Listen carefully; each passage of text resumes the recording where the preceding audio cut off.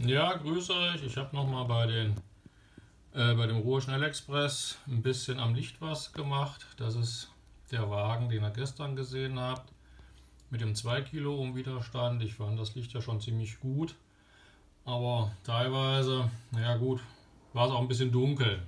Ich habe das heute mal geändert, habe jetzt schon mal hier in zwei Wagen den nur einen 1 Kilo Ohm Widerstand eingebaut und jetzt sieht das Ganze eben so aus finde ich eigentlich auch noch ein bisschen besser. Ich zeige euch nochmal vorne den.